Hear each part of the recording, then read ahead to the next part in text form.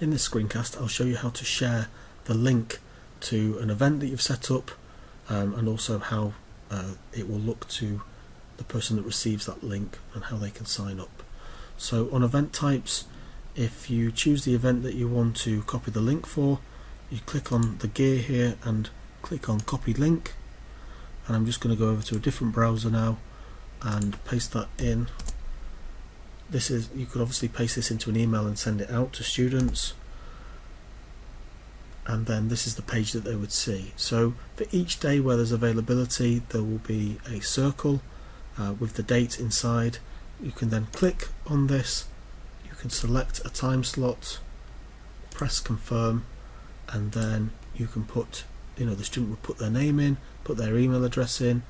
Um, they can put a little message about what they want to talk to you about because this, I added this optional question. So maybe they want to talk about their lab report um, and then they can press schedule event. They can then add that to their calendar by pressing this button. They will also get an email that um, will schedule the event and if they click on that email they can add it to their calendar. And if I just go back to my Calendly page this this in this browser I'm logged in. So if I click on dashboard I can now see uh, that this event has been scheduled. And I'll also receive an email to my email account.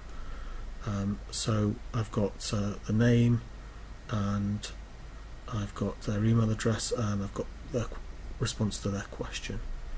So overall that is how you can share uh, the, the URL to a particular meeting type and also what it will look like to the student who gets that URL to, to schedule the meeting.